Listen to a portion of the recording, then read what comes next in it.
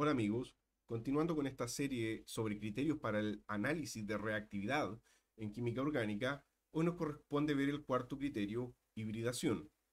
¿De qué manera la hibridación de un átomo nos permite discriminar qué molécula es más o menos reactiva que otra? Consideremos el siguiente problema de aplicación. Butil litio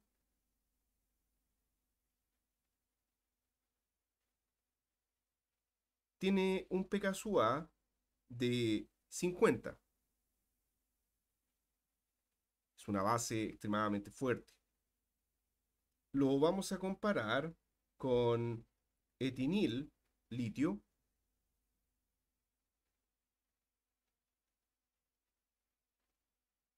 que tiene un pKa de 25 y lo vamos a comparar con vinil litio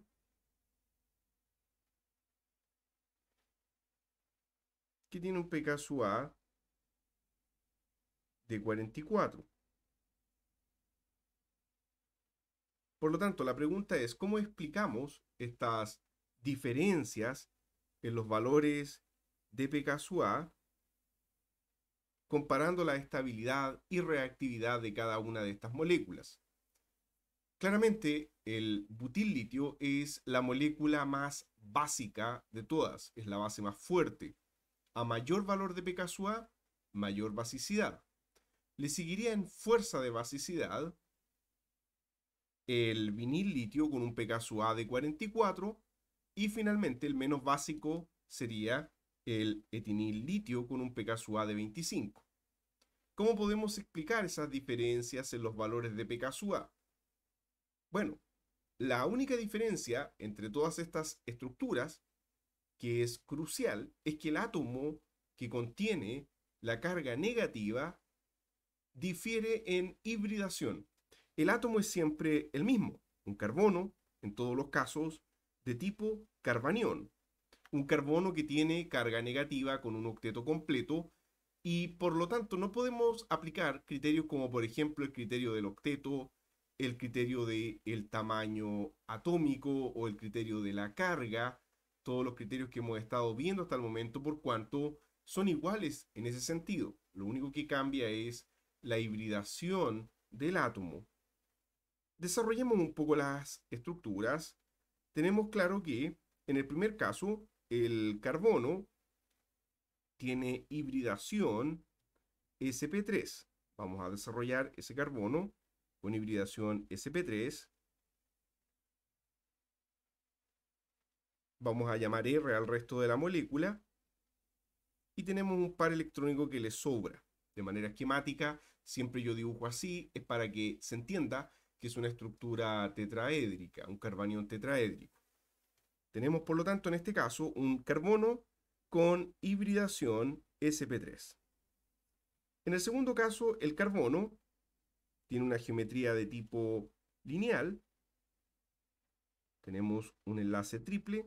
Tenemos, por lo tanto, que hacia acá está la nube electrónica con el par electrónico de no enlace. Bueno, tenemos una carga negativa, carga negativa, hay que dibujarla de manera explícita. Y tenemos que ese carbono tiene una hibridación SP, porque es lineal. Y en el último caso de la derecha no están ordenados de manera correlativa respecto al orden de enlace, pero no importa porque el análisis es en base a la hibridación.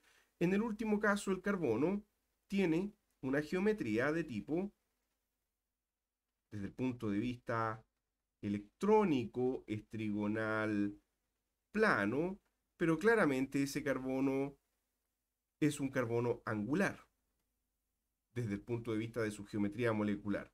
La hibridación de ese carbono que tiene carga negativa, siempre hay que dibujarla, es sp2. ¿Qué significa esto?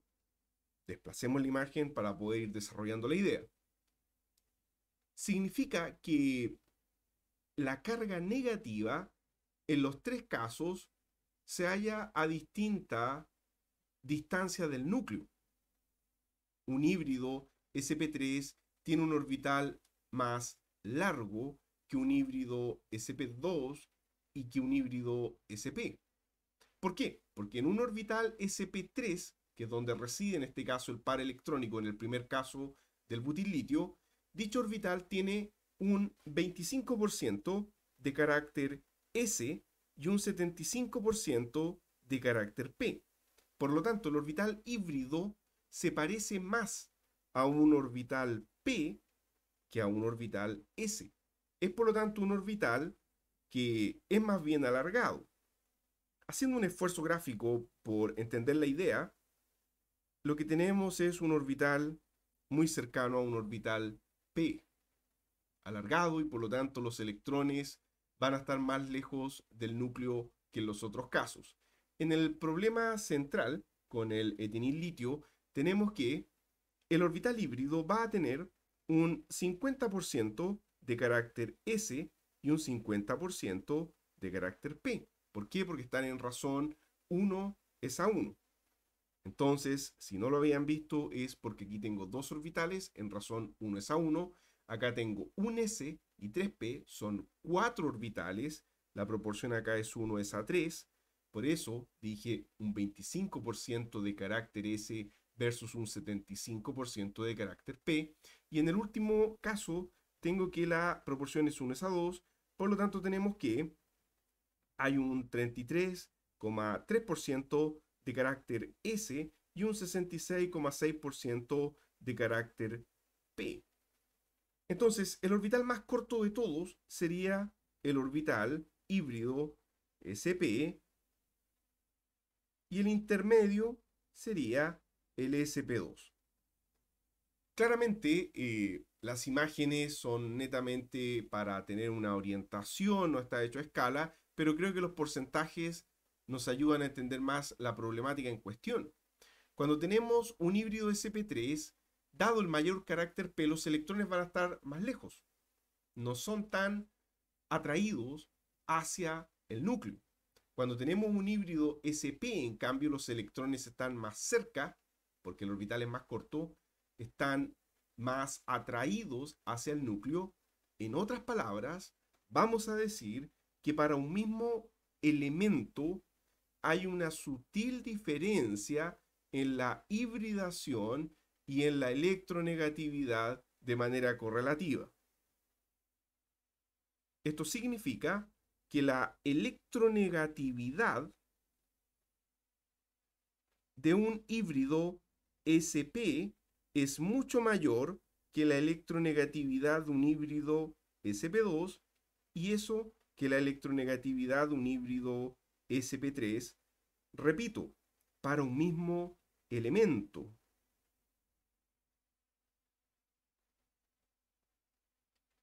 Eso es importante destacarlo para que no se vayan a confundir y apliquen esta regla a elementos diferentes en moléculas diferentes. No, esta comparativa es el mismo elemento, carbono en este caso, y lo único que está cambiando es la hibridación del átomo que contiene la carga negativa. Entonces, un híbrido SP, al ser más electronegativo, ya lo explicamos porque atrae con más fuerza los electrones, dado la hibridación SP, más cerca del núcleo, el híbrido SP soporta mejor la carga negativa, porque es más electronegativo, quiere estar con electrones, los atrae hacia sí, por lo tanto vamos a decir que la molécula con hibridación SP el átomo acá con hibridación SP hace que esta molécula sea más estable. Entonces, vamos a anotar acá, este compuesto es el de mayor estabilidad. Soporta muy bien la carga negativa el carbono con hibridación SP3. En otras palabras, es el de menor reactividad en otras palabras, ¿qué tipo de reactividad tiene esta molécula? Es una base, o sea, es el de menor basicidad. De estos tres, por supuesto. ¿Cuánto era el valor de pKa que habíamos reportado para esta molécula? 25. El valor de pKa es 25. Recordar que a menor valor de pKa para una base, significa que es menos básica, es menos reactivo, es más estable. Por otra parte, el carbono sp3, que es el otro extremo, es el menos electronegativo y por lo tanto es el que peor soporta, es el que peor estabiliza la carga negativa sobre sí y por lo tanto es el más reactivo. Lo vamos a escribir aquí abajo, es el compuesto de mayor reactividad. Es por lo tanto el de menor estabilidad. En otras palabras, dado que la reactividad de estos compuestos es comportarse como una base extra fuerte, en este caso este es el más básico, el de mayor basicidad. ¿Qué tipo de basicidad? Capturan protones, son bases fuertes, pueden abstraer un protón de una molécula. ¿Cuál es el valor reportado que dimos para butil litio? 50. A mayor valor de pKa para estas bases significa que es más básico, es más fuerte como base. Y nos queda eh, el vinil litio que tiene un valor intermedio. El valor reportado es de 44. Ya lo habíamos dado. Aquí lo dejo escrito para que nos quede claro que es un valor intermedio, entre 25 y 50, porque está al medio en esta escala de electronegatividad para un mismo elemento. Entonces, sin haber conocido los valores de pKa, podíamos nosotros clasificar estos compuestos y saber cuál es el más reactivo, el más básico en base a este criterio de hibridación. Ahora, ¿qué pasaría si tuviésemos la situación inversa, si tuviésemos cargas positivas en un mismo átomo con distinta hibridación? Claramente en ese caso la situación va a ser invertida, o sea, va a ser más estable el compuesto con hibridación sp3. Reportemos entonces un pequeño ejemplo comparativo. Si tuviésemos este caso,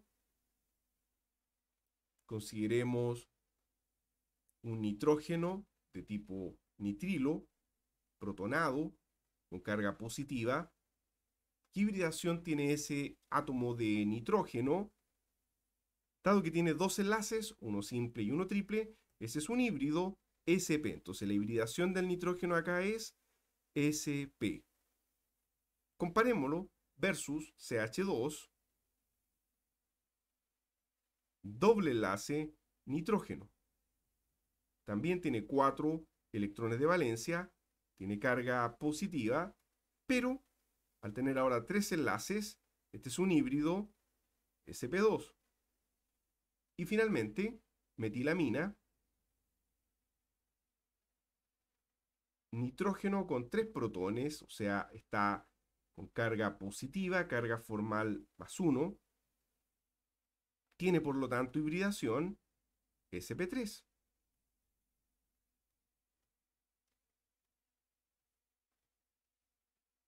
Entonces, vamos a centrar la imagen para poder hacer el análisis comparativo. En este caso, la situación sería al revés que en el caso anterior.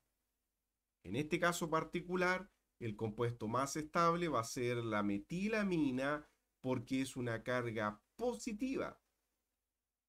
Un nitrógeno sp3 soporta mejor una carga positiva.